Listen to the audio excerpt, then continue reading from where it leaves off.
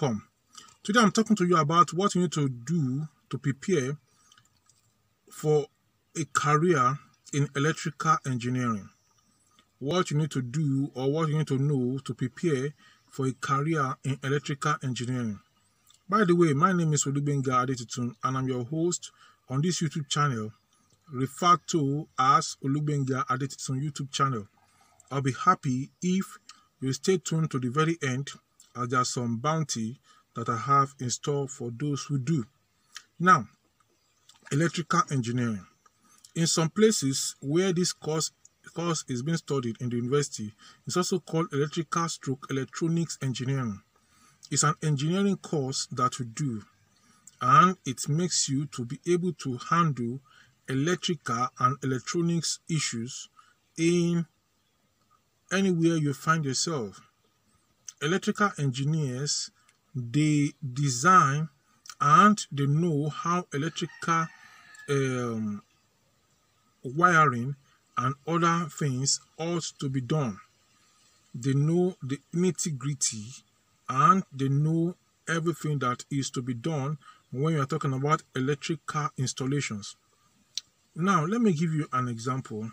Let's assume that you have a country or you have a state and they have a power grid. And the power grid has a particular type of transformer. And um, they are getting direct source of electrical power from a particular place. And now for it to be able to feed to the people in the locality that will feed to their homes there are different capacities of transformers. There are different capacities of wires. There are different things involved you can't just go and buy anything and install it and do anything and say that is how it's supposed to be done. These are part of the activities of electrical engineers. They know the required thing you're supposed to use. They know what you are supposed to use. And also they are involved even in the manufacture and in the um, putting of all those equipment together. Now, what does it take if you are going to become an electrical engineer? Number one, from secondary school, you must be good in the science courses. And when I talk about the science courses, I'm talking about maths, English, physics, chemistry, and further maths, and maybe even electronics. Some secondary schools offer electronics and the secondary school level. So you'll be good in that. If your school is not offering further maths at secondary school, I want to plead with you. Go and get yourself a further master's book and try to master and try to solve and uh, go through the examples and solve the further maths uh, uh, textbook by yourself and teach yourself further maths and if possible write further maths in your WAEC exam or in other terminal exams you're going to do in your secondary school. Now, when you finish secondary school with a good um, um, distinction or credit at uh, second after secondary school, in your terminal exam, you have a good distinction, a good result in uh, maths, English, physics, chemistry, further maths, geography, and uh, maybe electronics. In uh, then you are qualified to enter to gain admission to the university. Now, different countries have different admission requirements to enter the university. In some countries, you can go directly from your O level with that O level result and go and do the entrance examination to the university and gain, get admitted and start doing your electrical engineering course. In some other countries, also, you can you may not go into the electric, electrical engineering directly.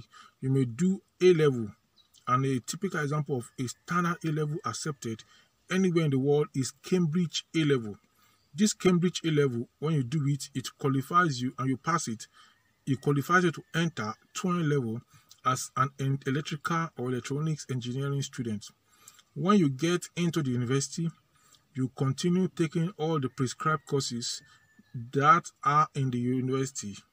Every course required, uh, prescribed for electrical engineering in different universities, they are all aligned to bring out the best in the students as an electrical engineer. So it doesn't really matter where you study. Uh, the, all universities once they are recognized, you can complete your electrical engineering there and move on to do exploits in the field of electrical electronics engineering. So you do all the prescribed courses at 100 level, 200 level, 3, 4, and then 500 level.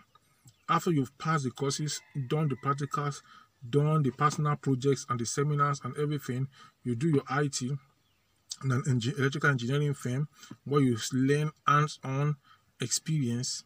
Then the Senate of the of your university will award you the degree, and then when they find you worthy in character and in learning, and then you become an electrical engineer, and then you can go out to the world and do exploits and find electrical engineering out, um, outfits, outlets, both government and private, to work with. And you can also start your own electrical engineering outfit.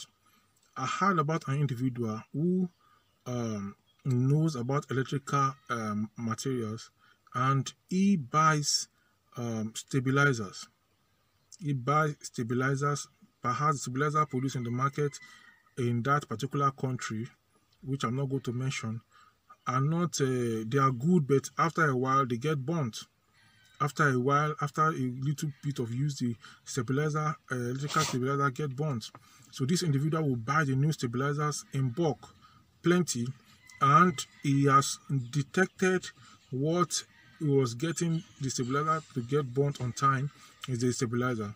So, and he started his own system whereby he will buy those stabilizers and it will get them repaired. It will change that particular thing that he knows is getting it, making it to get burnt on time, and then he will resell it.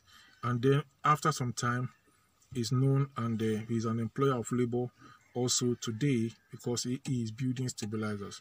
So we should be looking at this area and not just looking at going to work in a company, in a big company or in a, start, in a small company. Electrical engineers, start your own company, do your own thing, think of something, and we are going to celebrate you together. I'm going to talk to you some other time. Please remember to subscribe to my YouTube channel, share my video, like the video, comment on the video, and watch and watch and watch and watch again and again.